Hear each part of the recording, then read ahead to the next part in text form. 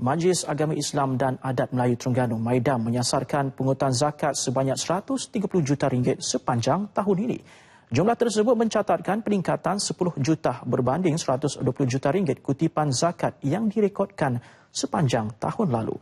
Pesuruhjaya Hal Ehwal Agama Terengganu, Dato' Omar Musa berkata, Pihaknya yakin sasaran itu tercapai berikutan kadar kutipan zakat setakat ini telah mencecah 81.8 juta ringgit.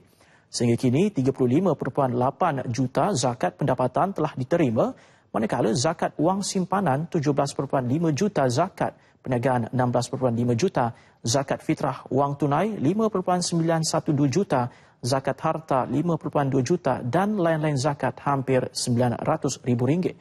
Daripada jumlah itu, 71.8 juta ringgit sudah diagihkan kepada golongan asnaf. Beliau menerima penyampaian cek zakat perniagaan RM50,000 oleh Hong Leong Islamic Bank oleh Eksekutif Kanan Operasi Cawangan Kuala Terengganu, Rozilan Embong.